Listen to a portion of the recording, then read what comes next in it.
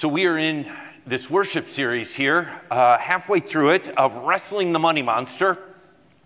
And the last two weeks, Pastor Mo and I have had a chance to just lift up some of the scriptures in the Old Testament that speak to how do we think about money and, and possessions in our lives. And I got to engage that from Proverbs two weeks ago um, and some of the money habits that Scripture invites us to consider versus focusing on appearances. And last week, Pastor Mo uh, lifted up the powerful words from Ecclesiastes, and with such great stories and insight, um, we pray that this is a series that's just letting us reflect a little bit about how does this function in our lives um, as followers of Jesus, as people who honor God, who look to God in our lives. Well, today and next week, we're going to go from the Old Testament to the New Testament. And today, we're going to hear from Jesus um, as he talks um, with uh, a group of an individual and then some others listening in. Um, a man comes up to Jesus. And Jesus has been teaching for a while, been, uh, and crowds have been drawn to him, and, and they've come to recognize him as a wise rabbi. And a man comes to him with a problem, an inheritance issue in his family. And uh, so he goes, in, in, that day, inheritance was handled um, according to biblical law among the Jewish people. And so you would sometimes go to a rabbi, to a scribe, to say, how, did, how should we handle this situation in our family? So this guy comes up to Jesus wanting some practical guidance. And Jesus steps back from the practical guidance, but gives him a broader perspective, gives us a broader perspective. Let's hear God's word. Let's hear Jesus' word for us today. This morning's reading is from the Gospel of Luke, chapter 12, verses 13 through 21. The reading may be found on page 865 in the Bibles you received as you entered. We invite those of you here and joining us online to follow along in your Bibles. Then someone called from the crowd, Teacher, please tell my brother to divide our father's estate with me. Jesus replied, Friend, who made me a judge over you to decide such things as that? Then he said, Beware, guard against every kind of greed. Life is not measured by how much you own. Then he told them a story. A rich man had a fertile farm that produced fine crops he said to himself, What should I do? I don't have room for all my crops. Then he said, I know. I'll tear down my barns and build bigger ones. Then I'll have enough room to store all my wheat and other goods. And I'll sit back and say to myself, My friend, you have enough stored for years to come.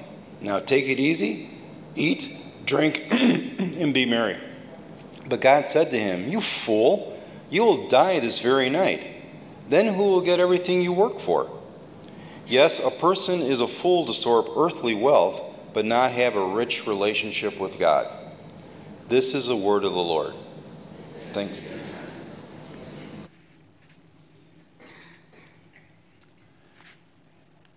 Grace, mercy, and peace to you from our Lord and Savior Jesus Christ. Amen. Last week, Pastor Mo mentioned the rapper Biggie Smalls and his song, Mo Money, Mo Problems. And I must say, I didn't know that song very well. I am not that into 90s rappers. But I do know this song.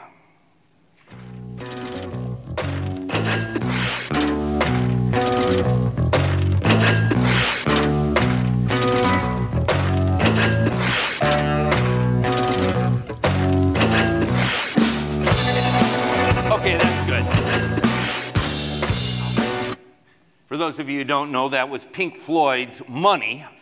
And yes, I was in third grade when it came out, so it wasn't necessarily something I grew up on either. But, but there are songs about money from every era because it is literally and figuratively the currency of our life. Money.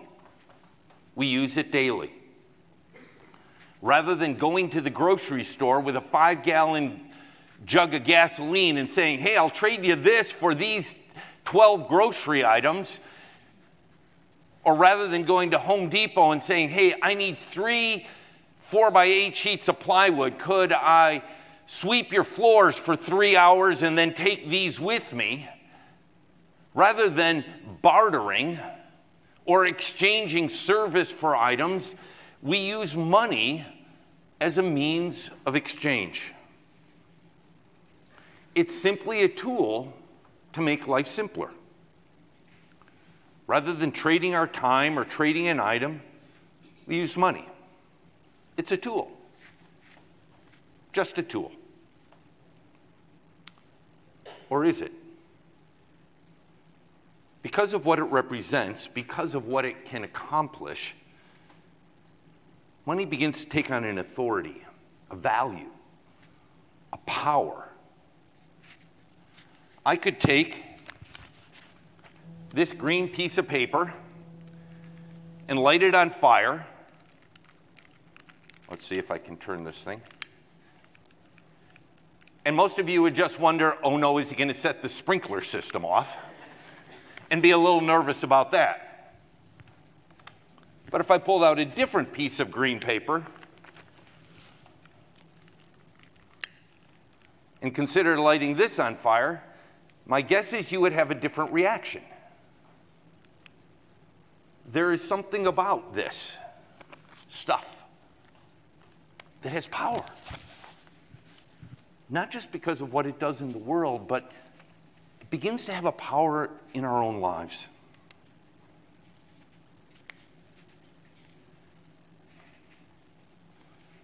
Money has value, and we need to treat it with respect.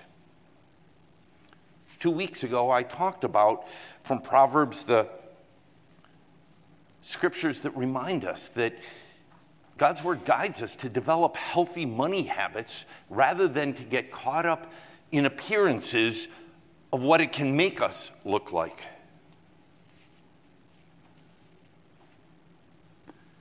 Scripture invites us, challenges us, God does, to use those resources in our lives wisely.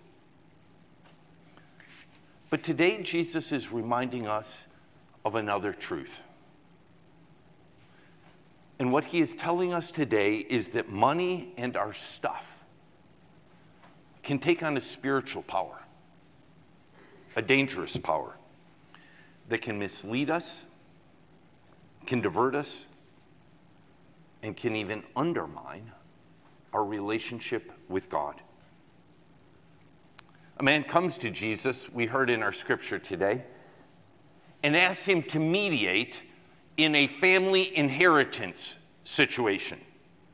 Teacher, he says, please tell my brother to divide our father's estate with me. Friends, if you say, oh, money is just money, stuff is just stuff, it doesn't have any more power than that, Pastor, well, just talk to a family that has gone through an inheritance issue that didn't go well. A situation where one or another of people in that family said, That isn't fair. A situation where families have been ripped apart because of some trinket that grandma had or some amount of money that they didn't feel was divided fairly. I saw hints of that in my own family growing up. When my dad's mother passed away, she basically had nothing. And after the funeral, her six kids gathered around in her kitchen table and they basically said, Who wants the pots and pans? Who wants the refrigerator? and in an hour they had divided everything up and went to a funeral luncheon and just celebrated stories of grandma. On the other hand, I saw on my mom's side of the family, when my grandpa died, he had been a farmer. He had some farmland, he had some machinery, he had some other stuff. There was more. And I also saw more tensions in that family as they were trying to sort through and divide those things up. after my dad died a couple of years ago and I was the executor, The thing I said to my siblings is I said, I have one goal in the journey of the next year is that our relationships are better at the end of this year than they are right now. Because I've seen what has happened in so many other families. By the grace of God and my siblings' understanding, we navigated through and we enjoy being with each other just as much an hour more than we did before. I'm so grateful. But Jesus didn't want to be a probate judge. What he did want to be was a teacher. And he turned the conversation from figuring out an inheritance issue to stepping back and looking at the bigger picture. And what Jesus said to the man back then, he says to us today Beware, Jesus says, guard against every kind of greed. Life is not measured by how much you own. But hold on. If it isn't measured by that, what is it measured by? I mean, how many times haven't you said or you heard someone else say, I wonder what he or she is worth? It's a phrase we use in our culture. And when we're talking about that, we're talking about net worth. We're measuring by exactly the scale that Jesus says don't measure by. Jesus is saying that's the wrong tool for measuring, that's the wrong scale to look at. I think Jesus would point us to these. What is the impact you have made on people? Or what is the good that you have done in your life? What is the love that you have shared with your neighbor? See, Jesus is telling us to make sure we're using the right measure when we're assessing our lives or others. But so often we get caught up in the measurement that our world often uses, which is net worth versus love worth. Life is not measured by how much you own, Jesus says. What measuring stick do you use? Do I use? When I look at people's lives, maybe even more importantly, when I look at my own, Then Jesus goes on to tell this fascinating little story, this little parable. A farmer is doing well. He doesn't have enough room in his barns. So he makes this decision as he's talking to go ahead, tear down his barns, build bigger barns so that he can have enough stored away for the future. I think it's important to note something when we hear this parable.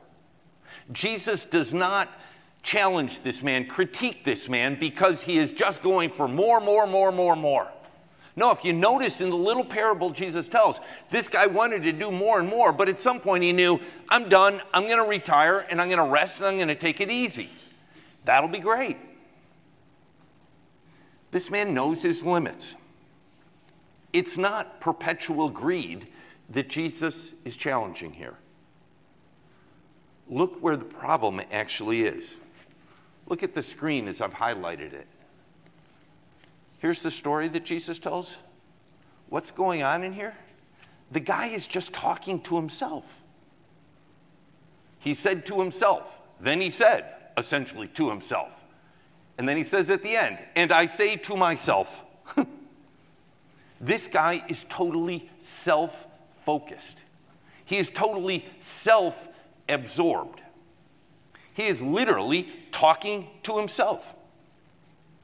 He is the center of his world, the center of his universe, the center of his focus. He is the center of it all. What do I want to do with my stuff? That statement is what Jesus is challenging.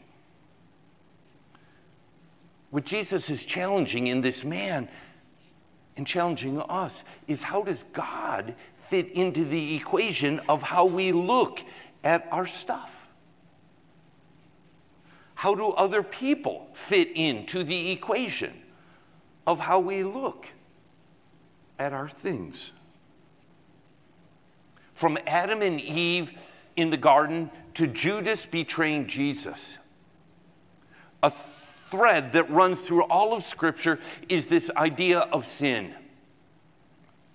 And sometimes when I'm teaching in confirmation or I'm talking to people like, what does sin mean? There are different definitions. One of the ways that I simply like to describe it is with this simple little image. Look at the word sin. What letter is in the middle of it? I. What sin is really about is my life turned in on me. My life just focused on me. No room for God, no room for others. It's all about Kendall. In many ways, that was the problem from Adam and Eve through Judas and all the way. God is saying, I want to be in your life. I want to be leading your life, but we say, I want to lead my life. I want to do it myself.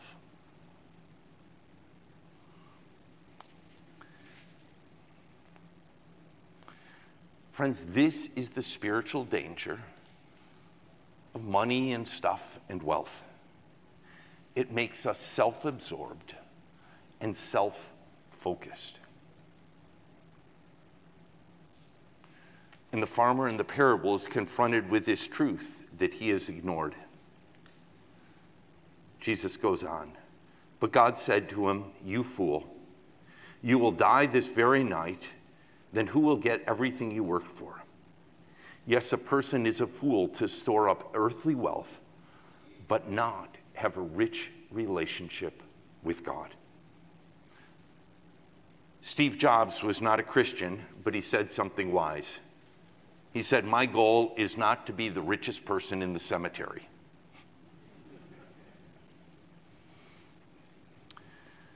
But, friends, sometimes seems like that is some people's goal.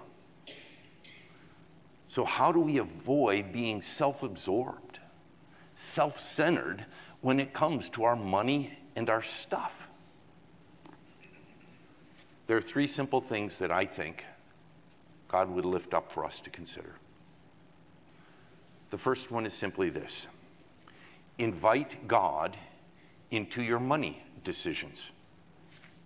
Seriously, invite Him in. If you're an individual or a family that makes a yearly budget for your household spending, invite God into that process. Before you start laying out your budget for the year or thinking through what expenses, say, God, how do you want me to look at this? And then as you go along in the process and sort of looking at things, ask, talk to God in the middle of the process. And then when you get to the end of your sort of budgeting, sort of, God, is this how you want me to be shaping our spending for this year? To get ourselves out of a self absorbed sense we have to open ourselves up and invite God in. Before you buy a home or a townhome, pray. Don't just talk to your mortgage broker to see how much of a monthly payment can I afford. Talk to God and say, God, how much of a home do I need? Invite God in before you buy a car and say, oh, this is what I really want, invite God into that conversation. God, how would you guide me as I think this through?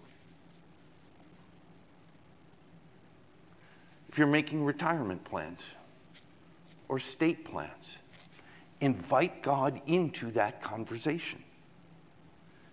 Ask God, what, what do you want me to think about when I'm doing this? But don't just ask God, ask God, and then pause and listen for what guidance God might want to give. Invite God into your money decisions. You might be surprised at some of the things that God says to you. Here's the second thing to avoid self absorption share your stuff. I think one of the most powerful biblical models, mottos, M O T T O S, I can't say it, but you know what I mean, is the line that God spoke to Abraham. Back in Genesis 12, he said, I have blessed you that you might be a great nation and your name will be great, so that you might be a blessing. Reduced down, blessed to be a blessing. I love that phrase. In many ways, I've tried to take that in as a model for my life. And what I love is the two things that it does. Blessed to be a blessing reminds me, first of all, that everything I have is a gift. I have been blessed with my health. I have been blessed with my abilities. I've been blessed with the education that I've been able to achieve. I've been blessed being able to be pastor here. I've been blessed in so many ways. But then it also reminds me I have been blessed for a purpose so that I might be a blessing to others. It's a phrase that reminds me to look up, thank you, God, for the blessings, and to look out to say, how can I be a blessing? So let's be practical with it.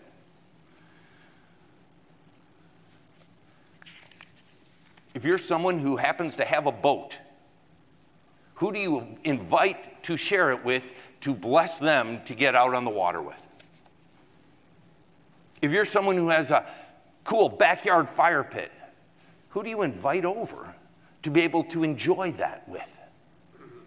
If you've been blessed with it, how might you be a blessing? There was a business owner at, at Light of Christ 15 years ago. He's sim- since moved away. And he was doing very well for himself. And one of his prized purchases was he bought a Plymouth Prowler. For those of you who can remember back, it's like this classic old style roadster car. And uh, look it up. I was going to get a picture, I forgot to. But it's this cool car, and he loved it. It was sort of his special treat that he had gotten for himself. But you know what he did? He knew a couple of the high school guys here at this church. And he said, Hey, if you're taking your date to, to homecoming or to prom, do you want to use my car and pick her up in that? Their eyes got this big. He was sharing something that meant a lot to him. It kept him from being self absorbed. I know a guy who loves to grill and smoke meat. And when he smokes them, he often smokes a little more than his family needs. And then he packages it up and gives it to, uh, brings it down the street. There's a single mom living down the street from him. He's brought it there. Single dad living the other direction. There's, I know he's brought it to someone who just came home from the hospital. He recognized he's been blessed to be a blessing. And I think the third way that Scripture lifts up for us to keep from being self absorbed with our stuff is to give some of it away. Give it to God's work. Give it to other good work in this world. I'm guessing some of you have done that in the last week or two as you've seen the tragedies of the twin hurricanes passing through our country. You see, friends, when we think we control our stuff, but the truth is, it begins to have power and start to control us. If you ever look at anything that you have and say, oh, I could never give that away, think about that for a moment. Do you really control that thing, or does it now control you?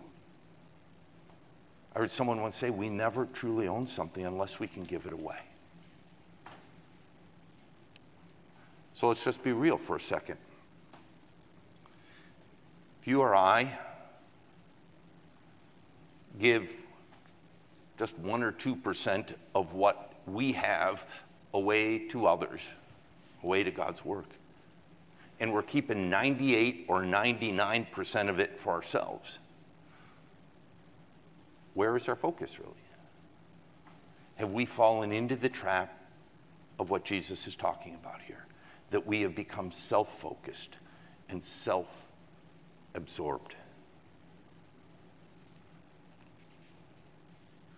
no one can actually tell anyone else what they should give from what they have. That's a decision we have to make between us and God. But maybe that's another place where we need to invite God into that decision making in our lives. See, friends, Jesus longs for you and me to have a rich relationship with God. Jesus longs for us to know the, the joy and the wonder of trusting ourselves to our Heavenly Father and not just trusting ourselves to our stuff. But He knows that can be the place that we begin to look to for safety and security. Trusting our stuff rather than trusting our Lord. Stuff turns us inward.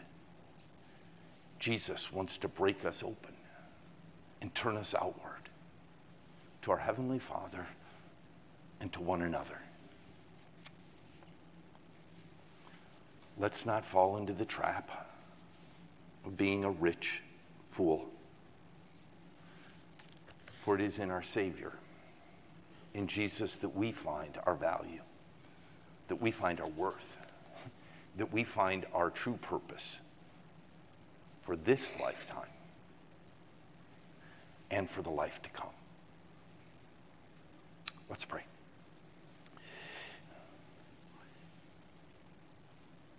Jesus, we come before you today, maybe a little like the guy who did all those years ago. We got problems in our lives and we want you to solve them. But just like you did to the man with the inheritance question, you point us to bigger questions, to bigger issues, to things that make us pause and reflect. Lord, help us to hear as you directed that man and as you direct us. What does it look like for us to have a rich relationship with you and with our Heavenly Father? And Lord, we pray that you would show us anything that is getting in the way of that. Free us from it so that we can live fully and authentically in your ways today and eternally. In your name we pray.